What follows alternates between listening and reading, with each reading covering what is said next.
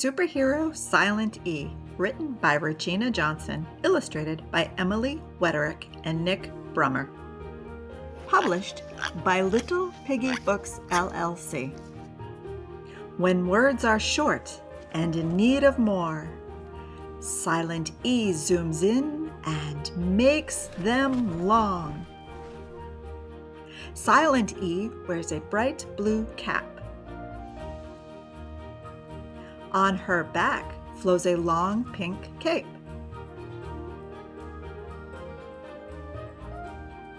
She waves hello to the man.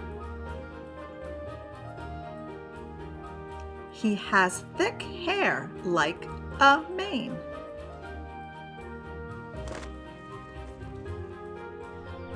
The yellow birds eat seeds from a pan.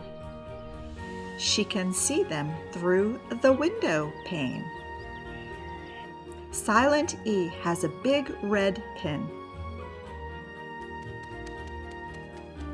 She sticks it in the tall green pine.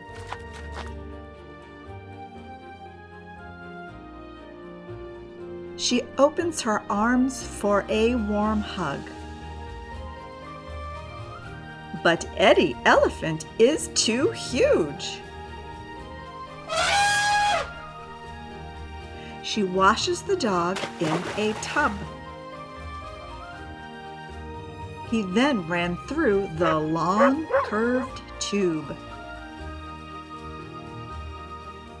Silent E has a small pet a happy goldfish named Pete.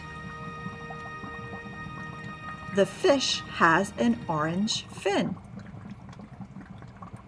which helps him swim super fine.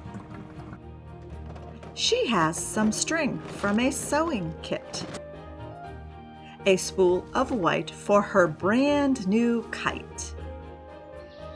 Her furry friend is Tiny Tim. She reminds him of supper time.